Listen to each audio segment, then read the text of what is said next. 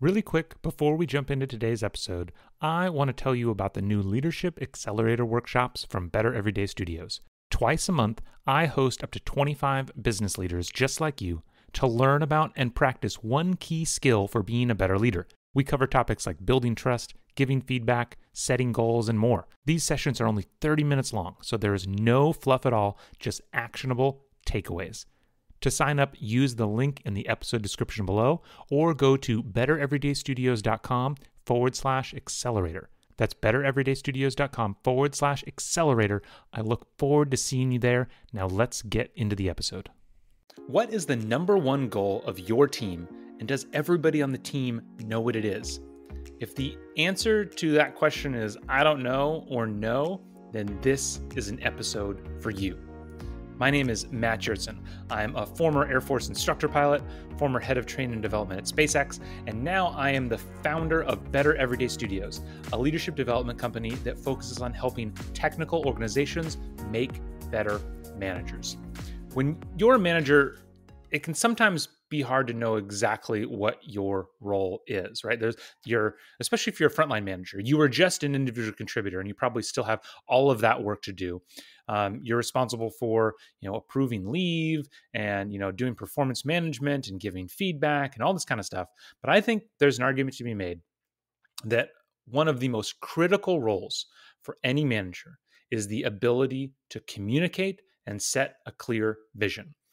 So if you haven't seen this show before, you haven't watched it in a while, we're in the middle of a series right now where we're diving into something that's called Google's Project Oxygen. This was a project that they did that they ended back in 2008 that was designed to answer the question, do managers matter? And they came up with eight behavior first they said yes managers do definitely matter and then they identified eight behaviors that make great managers. So we're in the middle of this series. Each episode of the series, we're looking at two different behaviors.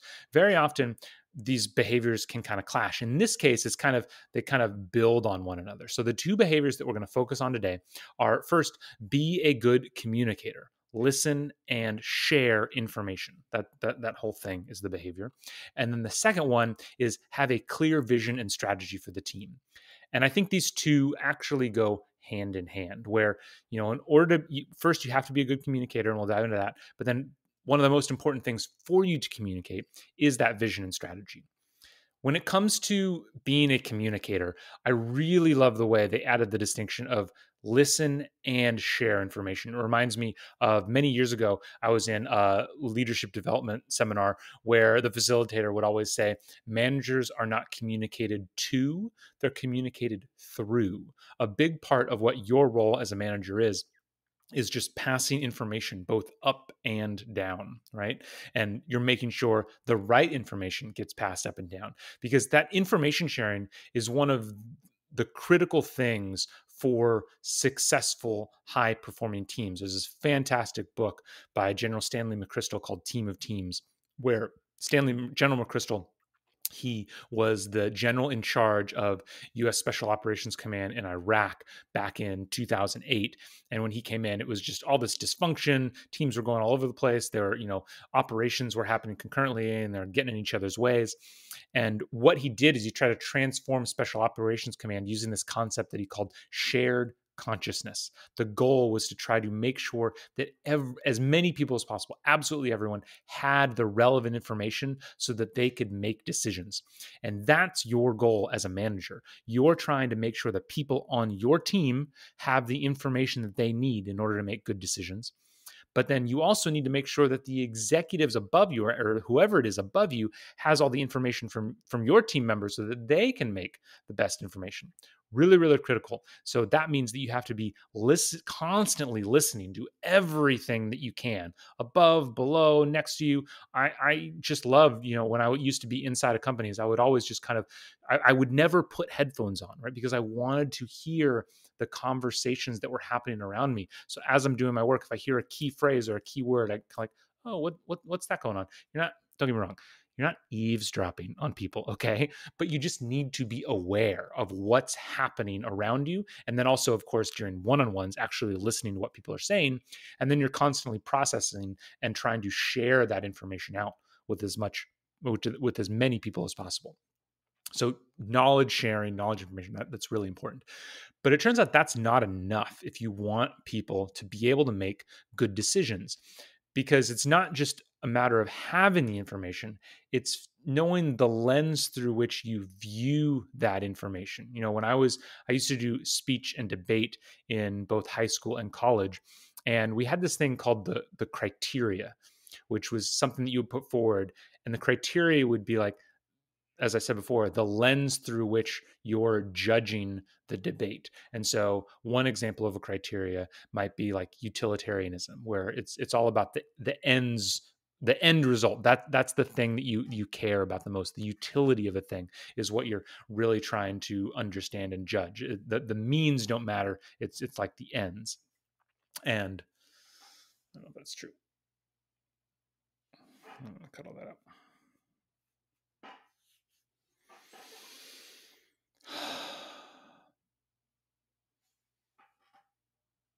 But of course, just having the information isn't enough to make good decisions. In order to make a good decision, you also have to kind of have a lens through which to view that information. And the lens could come from a lot of different ways, you know, but mainly it comes from what are we trying to achieve?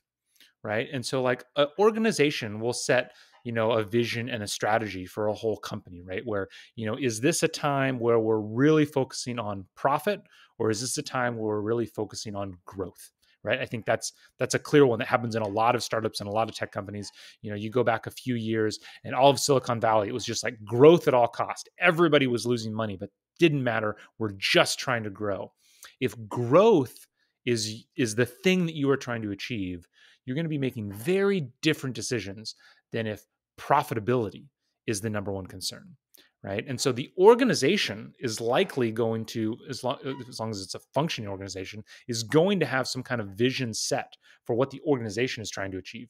So you as a manager your role is to take that vision and translate it into something that matters for your team.